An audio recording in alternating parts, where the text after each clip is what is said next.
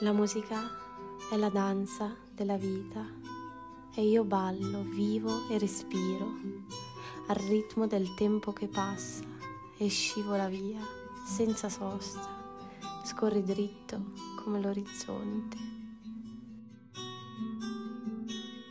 Nell'immensità della vita io trovo pace nell'arte, la mia anima si libera nell'inchiostro che scorre sulla carta e mi commuovo, mi innamoro.